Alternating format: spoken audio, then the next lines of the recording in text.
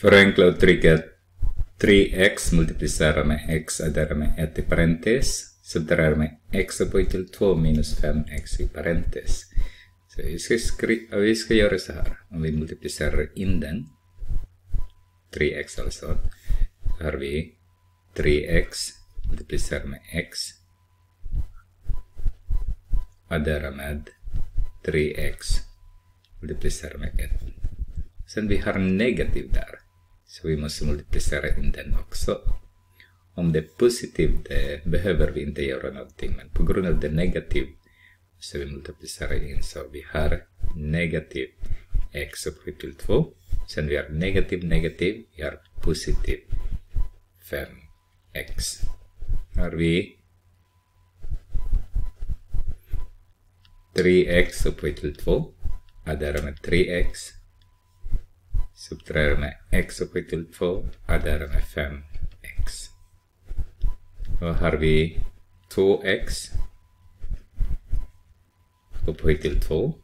Och sen vi har 3x, addera med 5x, är det 8x. Så vår svar i A är 2x upphöjt till 2, addera med 8, 8x. B. Faktoriserade förenklade uttrycket i A.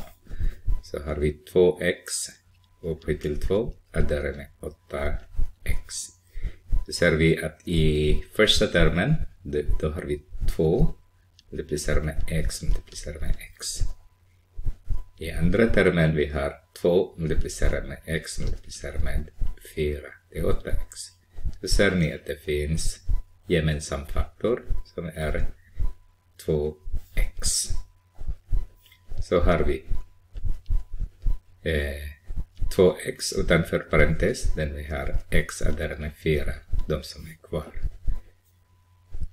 Så svar för vi är 2x parentes x adderat med